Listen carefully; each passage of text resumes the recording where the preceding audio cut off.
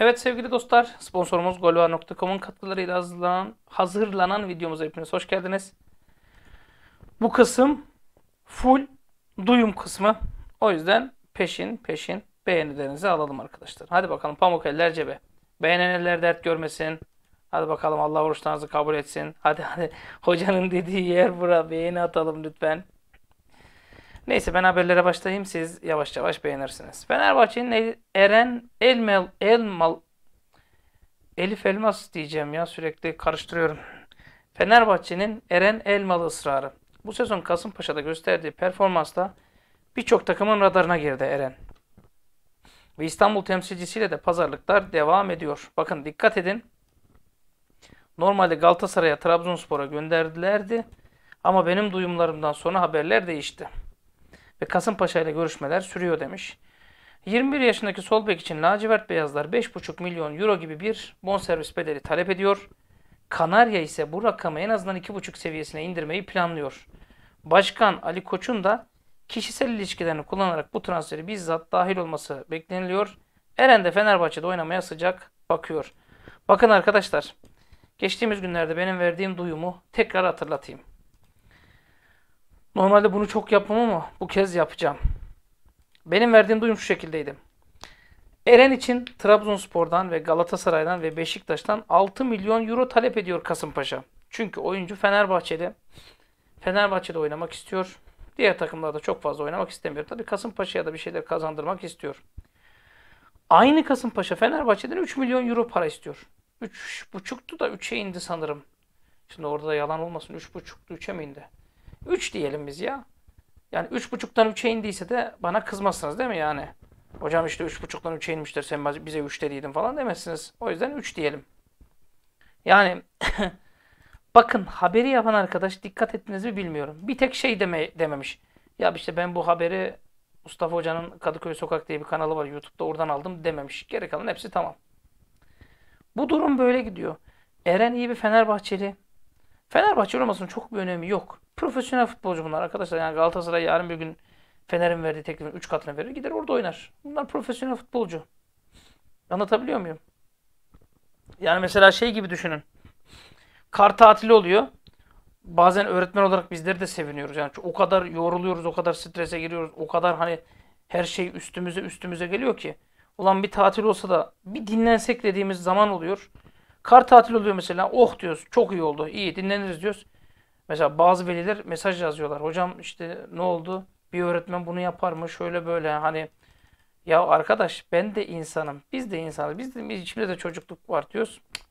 E şey yapamıyorsun. Yani insanları ikna edemiyorsun. Bu da öyle bir şey. İstediği kadar Fenerbahçeli olsun. İnsanların içinde de bir para isteği, ne bileyim e, statü isteği, farklı istekler olabiliyor. Hani ne bileyim mesela e, atıyorum kafadan atıyorum. İşte Galatasaray'ın teknik direktörü işte Fatih Terim'di bir zamanlar. Birçok şeyde isimde Fatih Terim hayranlığı vardı mesela. Anlatabiliyor muyum? Yani Fatih Terim hayranlığı vardı. Gitmek istiyorlardı mesela Galatasaray'a. Bu da öyle bir şey gibi diyebilirim arkadaşlar. Evet. ikinci haberimize geçelim. Gönder gelsin. Gönder lan. Al Nasır'dan Mesut'a teklif.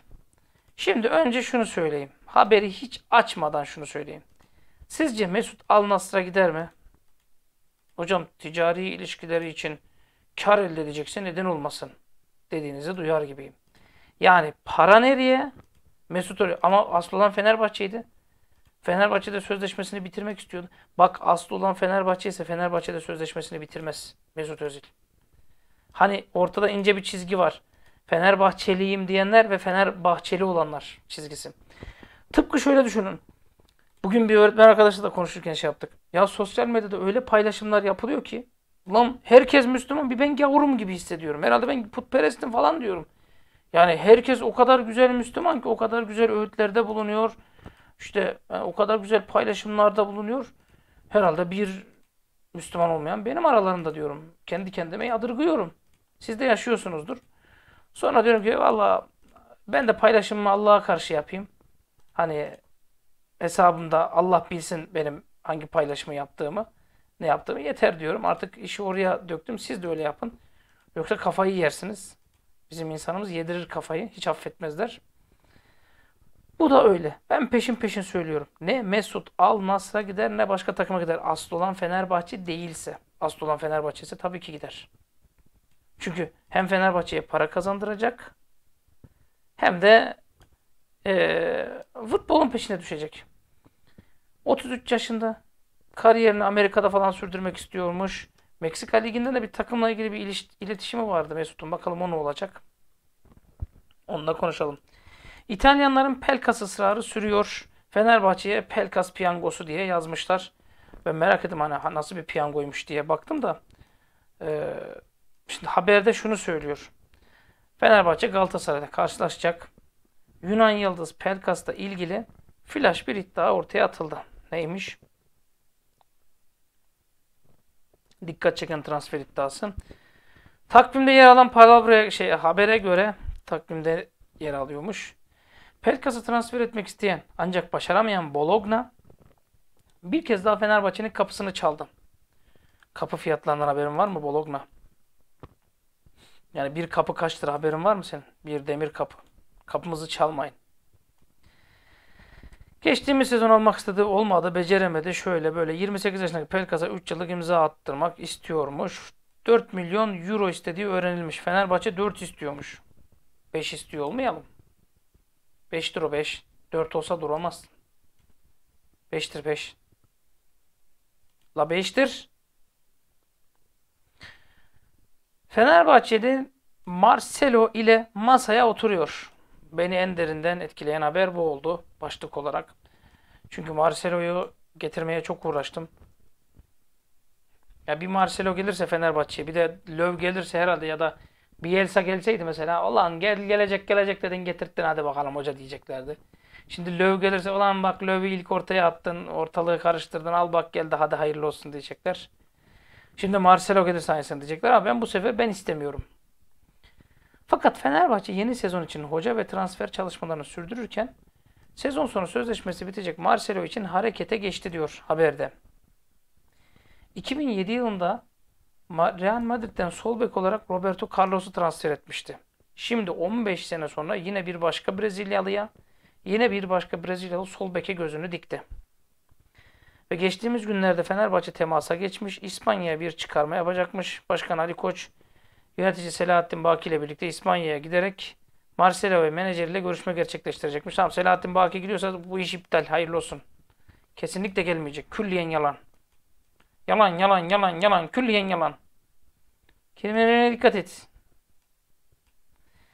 Şimdi Real Madrid'de süre bulamıyor. Mukavele bitiyor. Yaş kemale ermiş. Hocam o Marcelo bu yaşta bile ligin tozunu attırır diyen arkadaşlarımız da yok değil. Var. O arkadaşlarımızın da kudurtucu bir tarzı var. Şimdi görüşülüyormuş, anlaşılıyormuş. Yönetim hata yapmak istemiyormuş. İmza yeni teknik direktöre göre verilecekmiş. Şimdi ben basit bir ifade sunuyum size. Löv'le anlaştı Fenerbahçe diyelim. Gelecek diyelim. Şimdi Luis Suarez ve Marcelo konuşuluyor. İkisi de gelir. Haksız mıyım? Ama hocam yaşları şuraya gitti şöyle böyle. ikisi de gelir. Hatta Mesut Özil belki affedilir bu tandemde. Düşünsene sol bekim Marcelo. Forvetin Luis Suarez. 10 numara Mesut Özil.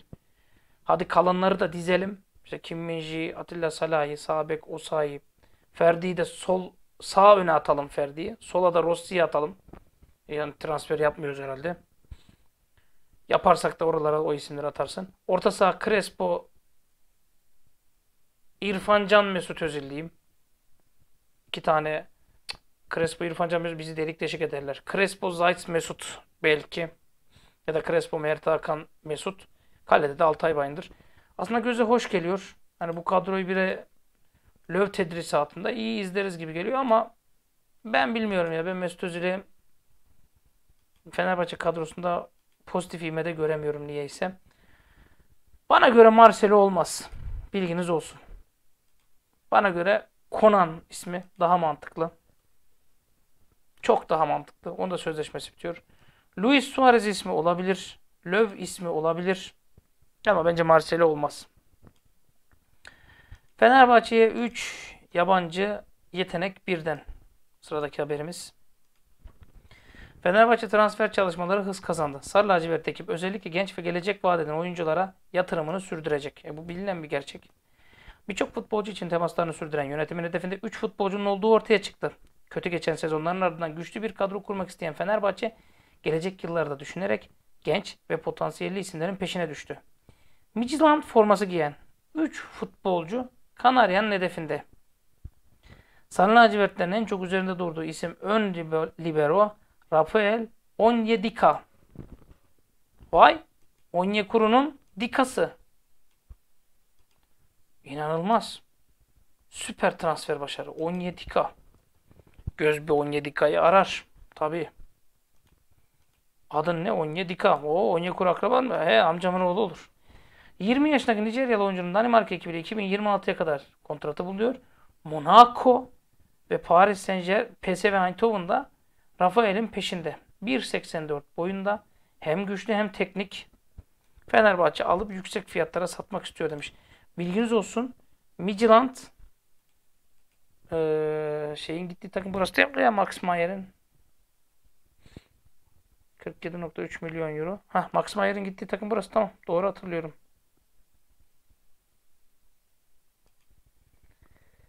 Şimdi bu arkadaş Nijeryalı ön libero stoper karışımı ee, transfer market %100 vermiş. Neye dayanarak %100 vermiş? 3 milyon euro piyasa değeri var.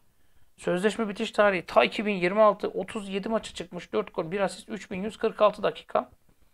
Ha Danimarka Ligi yani 1.84 ön libero ilginç. Yani ilginç bir isim. Bu bir.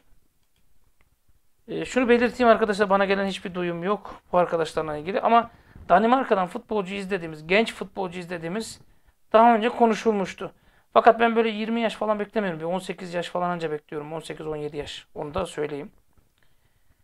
Ee, Fenerbahçe'nin istediği izlemeye alınmış futbolcu. Diğer isim 23 yaşındaki merkez orta saha oyuncusu Evander. Yanlışım yoksa az önce Evander'i gözüme kestirdim gördüm. 7 milyon euro diye gördüm ama bunda yanılacağımı çok zannetmiyorum. 7 milyon euro diye hatırlıyorum. Diğeri de 22'lik forvet Junior Brumado. Üçü de aynı takımdan. Fenerbahçe 3 genç futbolcu için de sezon sonunda Midtjylland ile masaya oturacak. Rafael 17K'nın bonservis bedeli 3 milyon euro. Evander'in piyasa değeri 7 milyon euro. Brumado ise 2 milyon euro. Kanarya bu oyunculardan en az ikisini kadrosuna katmayı hedefliyor. Hem genç hem de güçlü bir kadro kurulacak demiş. Valla Evander ismi imkansız. Bir kere onu konuşalım. Bir kere Evander imkansız. Futbolcuyu hiç bilmiyorum bu arada. Arkadaşlar sadece transfer markete göre yorum yapıyorum. İmkansız. Sana o 7 milyon euroyu yedirmezler. Junior Brumado Brezilyalı. Evet bizde tutabilir. Yaş 22 o Mayıs'ta 23 olacak. 1.90 2 milyon euro piyasa değeri var. Kaça almışlar? 2 milyon 250 bin euroya almışlar 2019'da. 30 maça çıkmış. 9 gol, 3 asist, 2136. O ligde bu kadar az gol atan futbolcunun Süper Lig'de başarılı olacağına inanan var mı? Bana mantıklı gelmiyor da. Hani dediğim gibi bu isimlerin üçü de bana gelmedi ama 17K ismi en mantıklısı gibi duruyor. Onu da söyleyeyim. Berk Özer Berke ile ilgili spekülasyonlar artarken Ajans Spor sağ olsun güzel bir bilgilendirme yaptı. Berke 23 yaş altı olduğu için transfer edecek olan kulüp Fenerbahçe'ye yetiştirme bedeli ödeyecek demiş. Bu kural biraz değişik. Şöyle anlatayım size. 18 yaşının altındayken transfer ettiğiniz zaman mesela İshak Ural Fenerbahçe'ye geldi. İshak Fenerbahçe'de profesyonel sözleşme imzalayıp bir takıma gittiği zaman yetiştirme bedeli alırız. O da 90 bin euro diye biliyorum ama bir kereye mahsus. Buradaki haber diyor ki bu bedel Berke'nin Avrupa'ya transferinde yıllık 90 bin euro 1.4 milyon TL demiş. Yani 90 bin euro 1.4 milyon TL. Türkiye'ye transferinde ise yıllık 300 bin TL demiş. Yani eğer başka bir ülkeye giderse mesela 5 senelik sözleşme imzaladı. 5 kere 90'dan 450 bin euro mu verilecek Fenerbahçe'ye? İnanılmaz. O zaman biz de uzatalım. Berke konusunda kimseye kanmayın. Beklemede kalın. Tavsiyemdir. Seferovic. Bir kardeş, bir duyumcu kardeş Seferovic ile ilgili yine eee, bazı dostlarından aldığı duyumu aktarmış. Fenerbahçe'ye gelebilirim demiş, yazın demiş.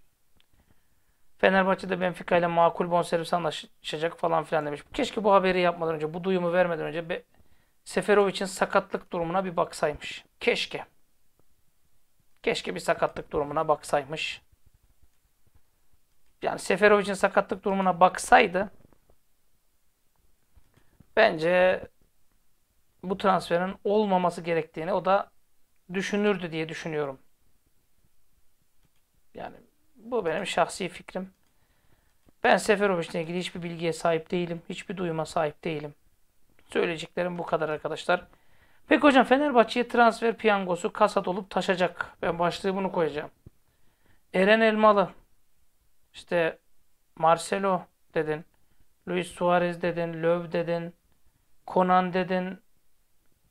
Ee, Onyedika, Evander, Brumado, Seferovic konuştu. Hangisi kasayı dolduracak? Mesut Özil için arkadaşlar konuşulan rakam 10 milyon euro desem bonservis için gülersiniz, inanmazsınız. Ben de inanmıyorum. Gustavo için 4 milyon euroluk bir teklif gelir mi yazın? İmkansız. Ben de inanmıyorum. Pelkas için 5'ten aşağı düşünmüyoruz. Hadi 6'ya da Pelkas satsan. Gerçekten Mesut ve Gustavo'daki şu palavra haberler gerçek çıksa 10, 14, 6'da Pelkas'tan gelse 20 milyon euro. Şimdi 20 gelmişken kimi niye satacaksın? Salah'ı niye satacaksın? 20 geldi. Şu 17K eğer gerçekten takip edilen bir futbolcuysa 3 milyon euro bence ön libero'da 4 tane gol atmış. Ee, benim hep içime ukde olan bir futbolcu vardır. Alamadığımız. Suçek. Thomas Suçek. Şu anda 27 yaşında Çek Cumhuriyeti vatandaşı. 45 milyon euro. 1.92 boyunda. Nereden gitti biliyor musunuz? 45 milyon euro. Slavia Prag'daydı. Hani şu bizim elendiğimiz Prag var ya. Biz şimdi o Prag'dan futbolcu alsak kü- küfür edersiniz. Slavia Prag'dan topçu mu alınır diye. 4,5 milyon euroya kiraladı West Ham. Ocak'ta kiraladı. Temmuz'da 16 milyon 16.2'ye satın aldı. Yani 20.7 milyon euroya satın almış oldu. Şu an 45 milyon euro değeri var. 41 maçta 5 gol 1 asisti var. 3494 dakika safkan ön libero. Ama golcü bir ön libero. Ve satın aldıkları o 2019-2020 sezonunda daha doğrusu onun bir önceki sezon yok. Bu sezonun ilk döneminde dehşetül vahşet top oynuyordu. Tabi Avrupa takımları senden daha uyanık. Hani ben bu şeyde Onyedika'nın istatistiklerinde de bir su çek gördüm gibi geliyor. Umarım böyle olur. Bunun haricinde kasanın dolup taşması için ben size bir şey daha söyleyeyim arkadaşlar. Şu anda bugün satıyoruz diyelim. Transfer Market'ta yazan değerine satıyoruz diyelim. Altay, Osayi, Kim, Salahi, Ferdi, Noak, Mesut, Crespo, Zayt, hatta İrfan Can 10. Ee, 10. Valencia 11. Serdar Dursun 12. 12. Hatta Arda Güler 13. Onu söyleyeyim. Muhammed Gümüşkaya 14. Ee, Samat da 15. Kolkır 16. Lemos 17. Hani transfer markettaki fiyatına satıyoruz diyelim. Bu 17 futbolcunun da bu fiyatları verecek talipleri var. Ama sen hangi kadroyu kurabileceksin? Ben az önce bir iskelet söyledim ya. O konuda ısrarcıyım. Fenerbahçe'nin iskeleti bozulmamalı, ekleme yapılmalı diye düşünüyorum. Neyse çok uzattım arkadaşlar. Kusura bakmayın. Sizin de kendince, kendince fikirleriniz vardır. Ben dediğim gibi ben Eren Ermalı ile Konan'ı alırım. Solda kafam rahat. Sağda da Nazım'la o sahayı bir şekilde küte pata götürür.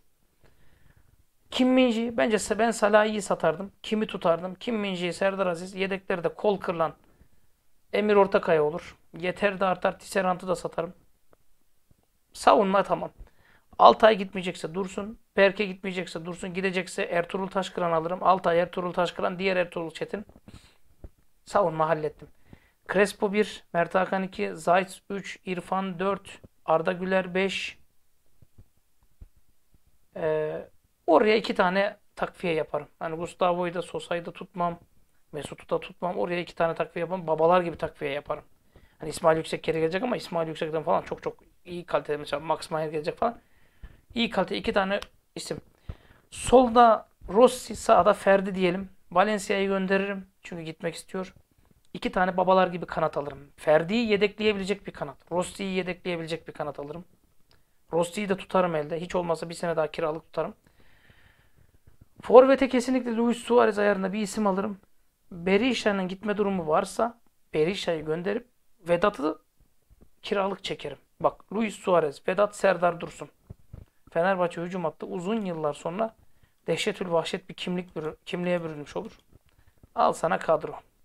Yani İrfan Can var, Arda var, Mert Hakan var. Zayt'sı satmıyorsan tut. Satıyorsan oraya üst düzey futbolcu al. Tut diyelim. Crespo var. 5. Orayı toparlarsın. Bak çok güzel bir kadro kurdum. Çok da ucuza kurdum. Elde de para. Kasayı da dolup taşırdım. Şu isimleri de sattırdım. Bakalım neler olacak. Bu arada Samatta'dır kiralık. Lemos'tur kiralık.